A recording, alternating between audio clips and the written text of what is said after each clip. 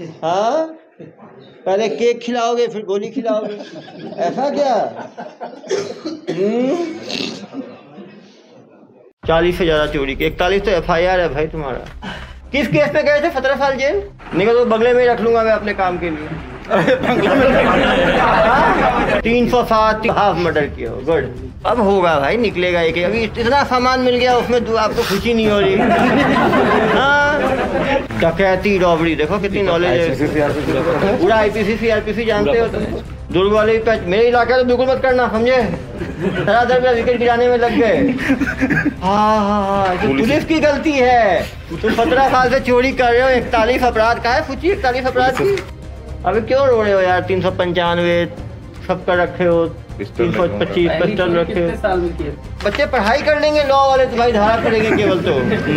तुम तो case study हो अपने आप में। उसके बाद भी तो शर्म नहीं आई फिर काम में लग गए। एक साल फिर जेल गए उसके बाद भी नहीं सुधरे। ये तो मेरे आते ही चोरी शुरू किया है। फरवरी में छूटा है डेढ़ आप ही का वेट कर रहा था। अरे भैया वही चखना खाते हो गए वही पीते हो गए तो ये हाल हो गया। मार पड़ा था मार लगा तब मालूम चला। मतलब अभी मार नहीं पड़ मार चलो अच्छा मतलब प्यार मतलब काउंसलिंग बोलो यार तुम। तो दिमागी मार की बात कर रहे मारो हमको मारो। हमको ज़िंदा मत छोड़ो सालो। हम कोई मंदिर का घंटा है कि कोई भी आके बजा जाता है? मानसिक मार। की बात कर रहे हैं पकड़ा गया तो खराब लगा ऐसा ना? मार पड़ा तब गलती का एहसास चलो ठीक है तो एहसास हुआ? और इसको क्यों फंसा दिए ये क्या किया था? के घर से मतलब निकला था सर। अरे भाई इसके घर में रखे थे तो। Don't make take you up कहाँ से लिया वो शर्ट भाई? हाँ? मैंने दिया है ये भी चोरी का ही है। यार। चोरी मैंने किया मैं कंपनी में जॉब करता हूँ। कंपनी में जॉब करते हो। तो ये क्या तुमको पुलिस वालों को सपना आया? तुम्हें ले आया सीसीटीवी में क्या? हाँ इसका दोस्त हो ये मेन मास्टर बेटा आ जा बेटा आ जा। कहाँ के रहने वाले हो? अरे बिहार में कहाँ पे हो? हाजीपुर पटना उस पर जो है। हाँ। समझ गया। तो बिहार का नाम कुछ रोशन करो यार तुम दुबाई जा रहे हो। बताओ बेचने वाला भी बिहारी पकड़ने वाला भी बिहारी कैसे करते हो?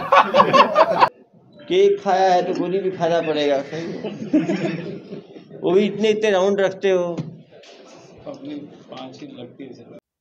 हेलो फ्रेंड नमस्कार आप सभी का स्वागत है आपके अपने यूट्यूब चैनल बकलोल डॉग्स में। आज हम बात करेंगे so called consultant motivational speaker और काउंसलर जो कि हमारे दुर्ग शहर के एसपी हैं। डॉक्टर अभिषेक पल्लव के बारे में बात करेंगे। जो अभी साइक साइकेस्ट्रिस्ट भी मानते हैं अपने आप को, उनके बारे में बात करेंगे। जो अपराधियों को काउंसलिंग के नाम पे, एक प्रेस कॉन्फ्रेंस के नाम पे काउंसलिंग के नाम पे जो उनको ह्यूमिलेट किया जा रहा है, उसके बारे में बात करेंगे। जो, वो जो कर रहे हैं उनके साथ, अपराधियों के साथ, या फिर एक वीडियो बना के लोगों के साथ साझा करने की कोशिश कर रहे हैं। तो आप ये उनको लज्जित करने के लिए कर रहे हैं या आप अपने आप को फ़ेमस करने के लिए कर रहे हैं? या क्या कर रहे मनोरंजन की दृष्टि से कर रहे हैं या क्या उनकी मनसा क्या है? हम बस यही जानना चाहते हैं। अगर आप उनको सुधारने की दृष्टि से कर रहे हैं तो हमें तो नहीं लगता कि इससे सुधार होगा। क्योंकि हम ऐसे समाज में रहते हैं जहाँ अगर पता चल जाए पड़ोसी चोर है तो हम उसको घृणा की नज़र से देखते हैं। और आज के डेट में ट्रोलिंग सबसे बड़ा इशू हो गया तो आप उसके साथ साथ उसके फैमिली को भी थ्रेट में डाल रहे हैं। आज के डेट में ट्रोलिंग ही सोशल मीडिया की ट्रोलिंग ही एक वेपन टाइप की काम कर रही है। कितने लोग उसके द्वारा सुसाइड कमिट कर रहे हैं सिर्फ़ ट्रोलिंग और बुलिंग के कारण। आप एक शहर के एसपी हैं तो आप ज़िम्मेदारी से काम करेंगे, ये हमें पता है। लेकिन आप इस तरीके अरे इसके जैसे आपकी हाइट से बड़ा तो ये चाकू लग रहा है। अरे भाई तुमको साइलेंट बॉय ने निपटाया। तुमने भैया इसको क्यों निपटा दिया? फ़ोटो डाल के। क्या नाम है? आप ही का नाम क्या था? अरे भाई तभी हुक्का लेके पहुँचे तुम मेरे पास इतने प्यार से। इसमें कोई अलग धार है क्या? केक के लिए केक में अलग स्वाद आता है? हाँ जनाब लोगों को दिखाने के लिए। वर्चस्व स्थापित करने के लिए। और मन किया तो? हाँ? ये बर्थडे का रिटर्न गिफ्ट है भाई। जो अच्छा गिफ्ट लाया, ठीक है, नहीं तो हुक्का आपका, आपको यहाँ क्यों आना हुआ?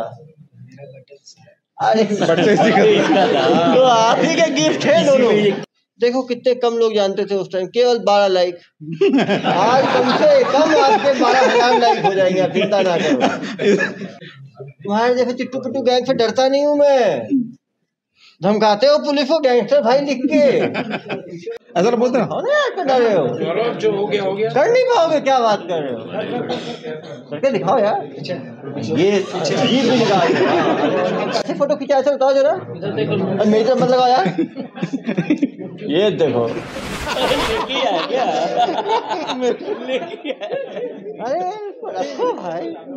है, है होगा अरे।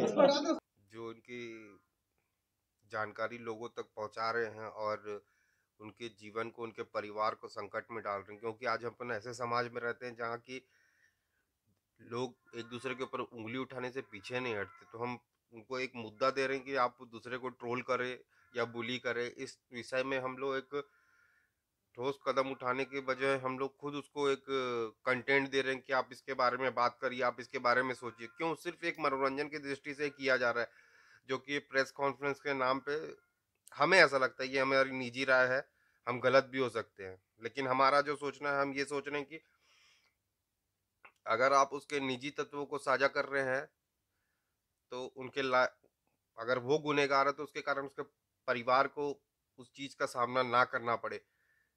अगर आप उसकी निजी तत्व को, अगर लोगों को उस साथ साझा कर रहे हैं, आप हँसी ठिठोली कर रहे हैं वहाँ, आप उसको ह्यूमिलेट कर रहे हैं, वो आपकी नज़र में ठीक हो सकता है। आप, क्योंकि पदधारी हैं जिस देश में आपके पद से आपकी गरिमा मानी जाती है, आपके व्यक्तित्व से ज़्यादा तो हम उससे कोई ज़्यादा उम्मीद नहीं कर सकते।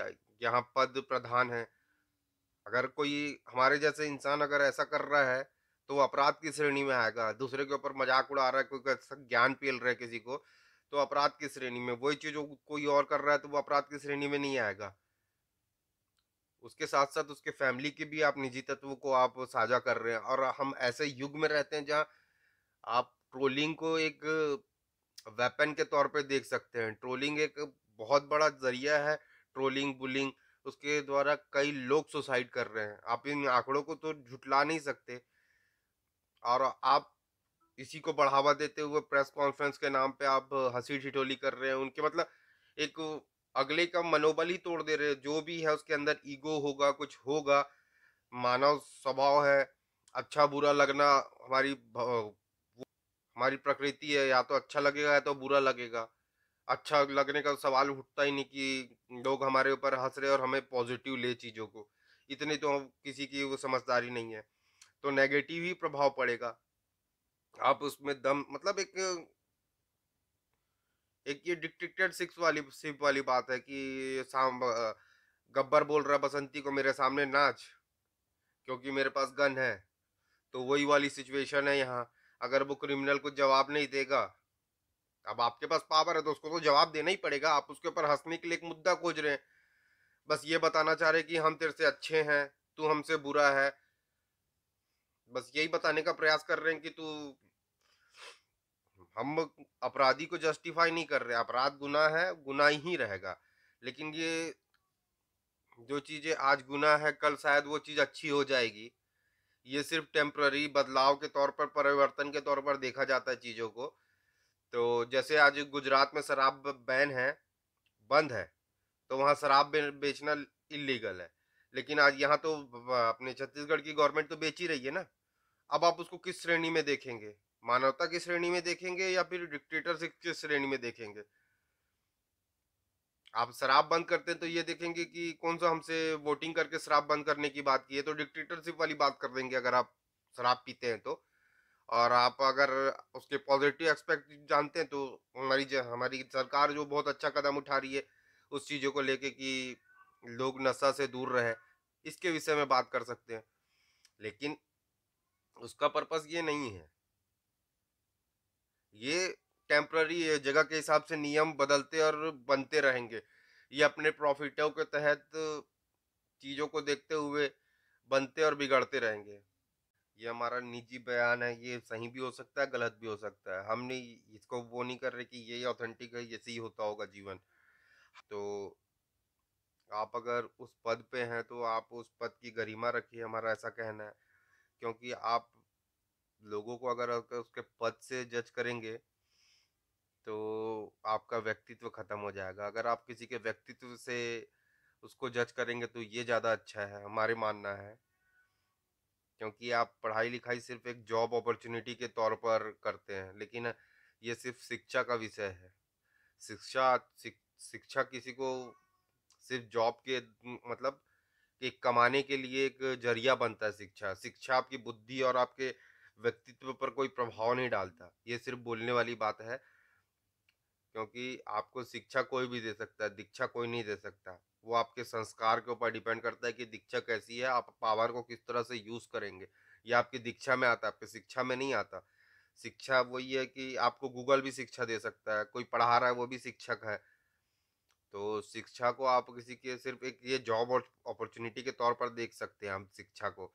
शिक्षा आपके चरित्र में कोई प्रभाव नहीं डालता। ये सिर्फ़ आपके जीवन जीने के तरीके को एक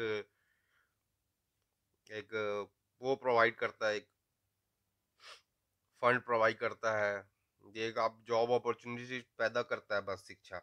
बाकी इससे कोई शिक्षा से आपके व्यक्तित्व पर कोई प्रभाव नहीं पड़ता।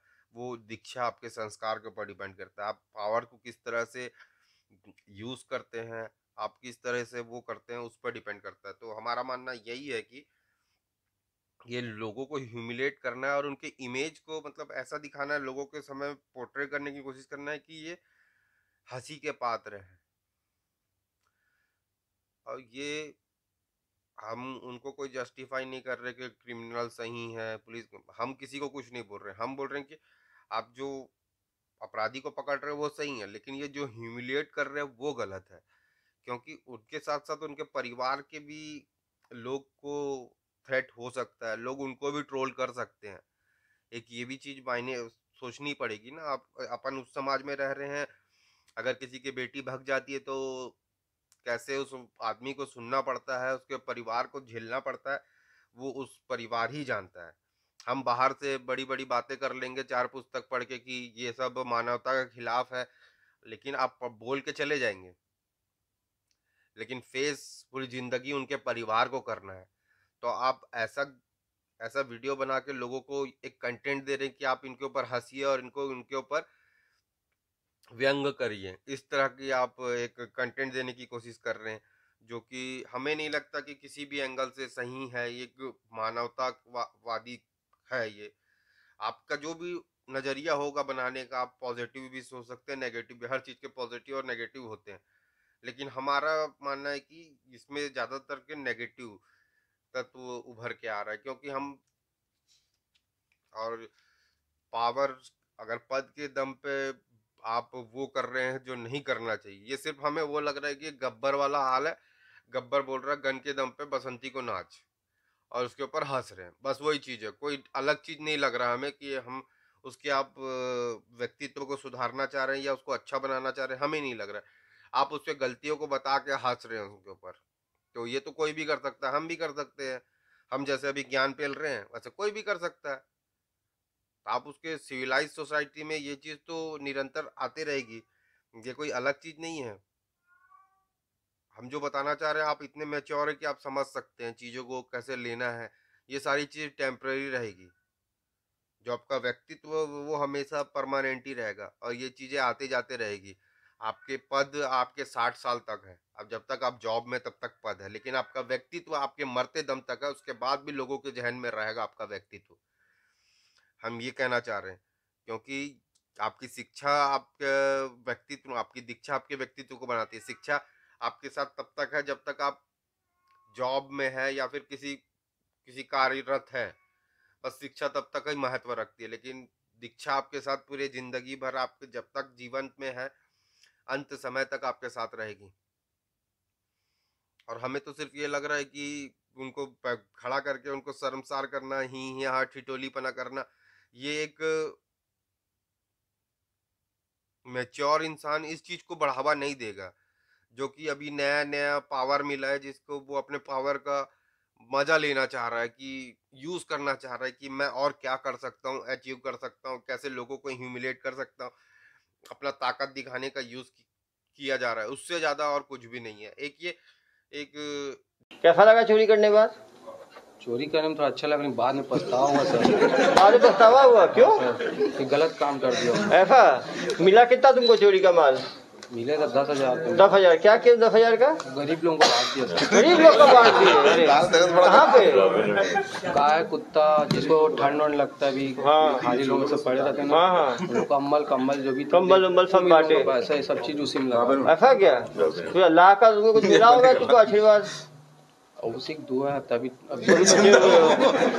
जुवनैल इंसान रहता है जो एक थोड़ा कम परिपक्व इंसान रहता है, उसकी ये मनसा होती है फ़ेमस होने के लिए, सब करने के लिए, क्योंकि अचानक से किसी को पावर देख लोगे तो उसके व्यक्तित्व में बदलाव आ जाएगा। क्या आप शुरू से ऐसे ही थे? नहीं थे ना? जब से पद मिला आपको, तब उसके बाद से आपका व्यक्तित्व बदला है। तो पद आपके व्यक्तित्व को प्रभावित कर चुका है पावर आपके व्यक्तित्व को प्रभावित कर चुका। ये नहीं कि आप अपने व्यक्तित्व से पावर को प्रभावित किए पावर ही आपके व्यक्तित्व को प्रभावित किया है, ऐसा तो हमें दिख रहा है। ये सिर्फ़ हाल है कि मतलब मेरे पास पावर है तो मैं तुम्हारे ऊपर क्रिमिनल केस है तो क्या हो गया? मैं तुम्हारे ऊपर हंसने के काबिल हूँ, क्योंकि मैं इस पद पे बैठा हूँ, मैं तुम्हें कुछ भी बोल सकता हूँ। क्यों? क्योंकि तुम गुनहगार हो, और मैं तुम्हें जज कर सकता हूँ, और मैं तुम्हें ह्यूमिलेट कर सकता हूँ। ये बस मेरी मनसा है और कोई नहीं है। बस यही मनसा प्रतीत हो रही है और सिर्फ़ फ़ेमस होने के लिए सब कार्य किया जा रहा है, अन्यथा कुछ भी नहीं है ये। और हमारे दुर्ग भिलाई में क्या पूरे खत्म ही हो गए हैं क्या? क्राइम खत्म ही हो गए दुर्ग भिलाई में? जो कि अब फेसबुक रील से लोगों को पकड़ पकड़ के ला के ह्यूमिलेट किया जा रहा है। हम्म आप तो बोल के चले जाएँगे उनके उनके व्यक्तित्व पे क्या प्रभाव पड़ेगा, आपको भी नहीं पता। आप तो सिर्फ़ आपको कंटेंट मिल गया, आप पब्लिसिटी थोड़ा सा चाहते हैं, मज़ा लेना चाहते हैं, आप ले लिए। मतलब लोगों के फेसबुक से जो वहाँ लोग अपने जीवन से अलग कुछ शेयर करना चाहते हैं, अपने निजी जो अपन है, वैसे सोशल मीडिया में नहीं दिखते अपन। तो कुछ अलग दिखते हैं तो वहाँ से आप उसको पकड़ के ला रहे हैं। तो हम उसको ऐसा जज कर रहे हैं कि ये ऐसा किया, वैसा किया। तो हमारे दुर्ग भिलाई सर में एक छोटा सा बोलने का मतलब है कि क्राइम खत्म हो गया है, उस कारण से आप, अब अब रील बचा नहीं, फेसबुक नहीं बचा, अब उसमें से लोगों को पकड़ के ला रहे हैं।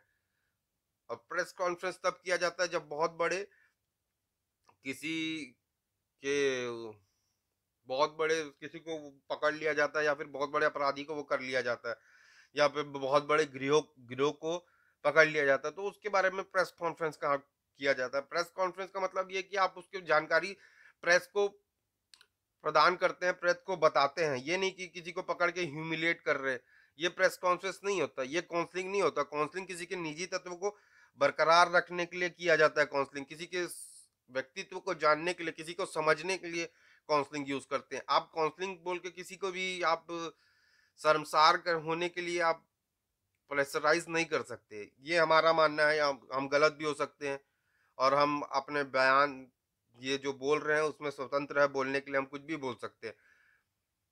हमें जो चीज़ गलत लगेगी हम उसके लिए बोल सकते हैं जो कि हमें सिर्फ़ एक ये लग रहा है कि एक एक अनमेच्योर इंसान है उसको पावर दे दिया गया तो वो पावर के नशे में चूर है वो। और इसका कोई औचित्य नहीं है, और कोई औचित्य नहीं है। अगर आप समाज को सुधारना चाहते हैं तो उससे आप एक भी परसेंट प्रभावित नहीं होगा समाज इससे। इतना तो हमें पता है। हम गलत भी हो सकते हैं। हम गुनाह को गुनेगार को जस्टिफाई नहीं कर रहे हैं। पहले ही बता दे बार बार बता रहे गुनेगार को जस्टिफाई नहीं कर रहे आप ये बोल दे कि कल के डेट में गुनेगार को एक गलत है। हम गुनेगार को जस्टिफाई कर ही नहीं रहे हैं। और वैसे भी अगर हमारे क्रिमिनल उसका कोर्ट कर देखे तो क्रिमिनल आप, आपका काम सिर्फ़ पकड़ना है लोगों को और कोर्ट तक पेश करना है। जज डिसाइड करेंगे कि इसके ऊपर क्या ये अपराधी है या नहीं। आप उसके पहले ही ह्यूमिलेट कर दे रहे हैं उसको, उसके निजी तत्वों को आप ऐसे वो कर रहे हैं, साझा कर रहे हैं सोशल मीडिया में, खुद ही फ़ेमस होने के लिए सिर्फ़। आप उसके लाइफ को तो थ्रेट में डाल ही रहे हैं ना। आप उसका सोशल लाइफ बचा ही क्या, बताइए?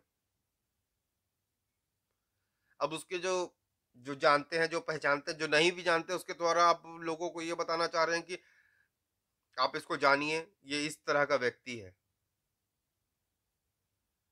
लोग अगर अपना चोरी कर रहे हैं और छुपा रहे हैं तो इसका मतलब यही है कि लोग अपने सोशल अपने छवि को छुपाने के लिए कर रहे हैं तो खुलेआम चोरी करते ना?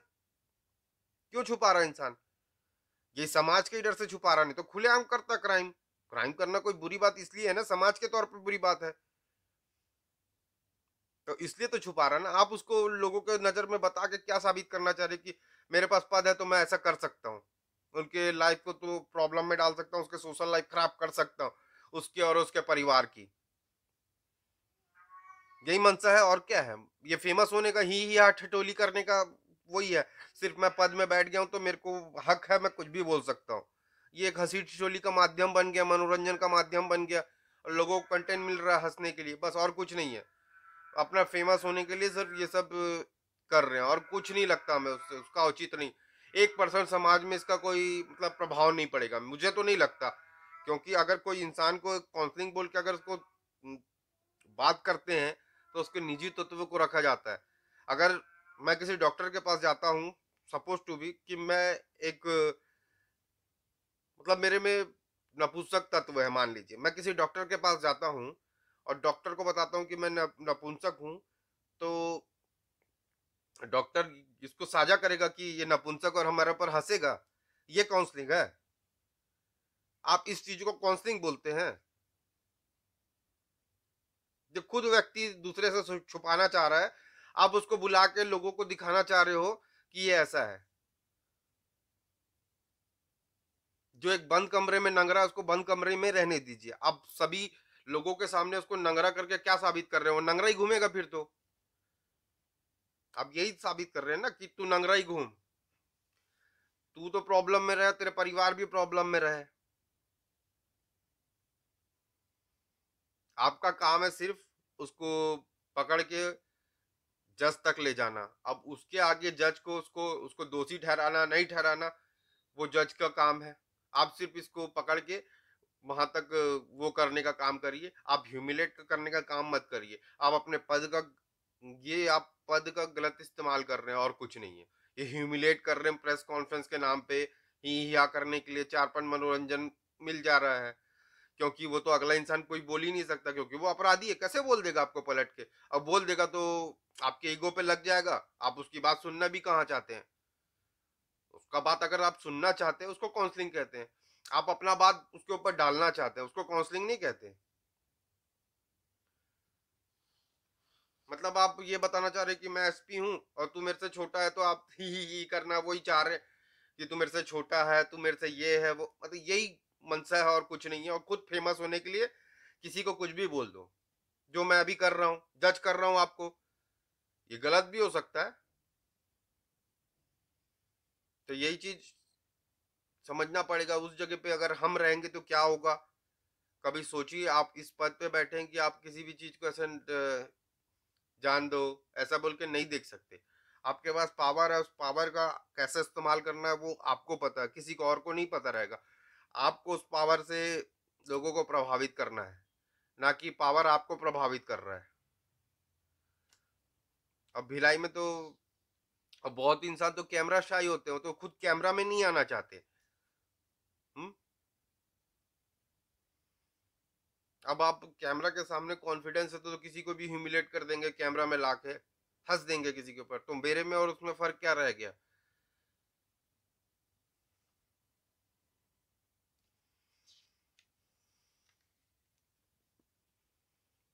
और आप यही पूछ रहे हो लोगों से कि मेरा वीडियो देखा मतलब ये सिर्फ़ एक ये ये एक वाक्य आपके इस, उसको पूरे को खत्म कर देता है। क्यों?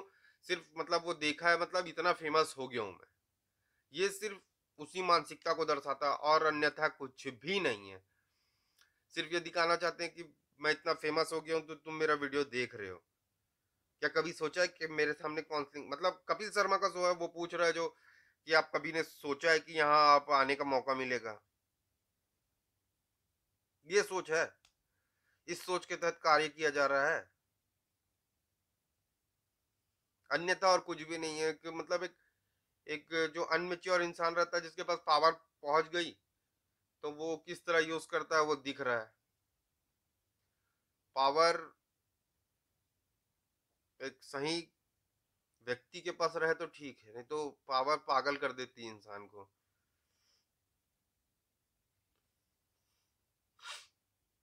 और आप में और एक गैंगस्टर में कोई क्या फ़र्क है? गैंगस्टर गन के दम पे दूसरे को काम करवा रहा है आप पद के दम पे काम करवा रहे हैं। फ़र्क क्या है? अगर आप समाज को सुधारना चाहते हैं तो मुझे तो ये नहीं लगता कि ये मेरी सोच है, गलत भी हो सकता हूँ। सही भी हो सकता हूँ, ये मेरी निजी सोच है। तो बस मुझे जो गलत लगा मैं उसके बारे में वीडियो बना दिया हूँ। बाकी आपके ऊपर है कि आप इस चीज़ को कैसे वे में लेते हैं, आप अच्छा भी ले सकते हैं, बुरा भी ले सकते हैं, ये आपके ऊपर डिपेंड करता है। चलिए ठीक है, आज का वीडियो यहीं यहीं समाप्त करते हैं। जुड़ने के लिए बहुत बहुत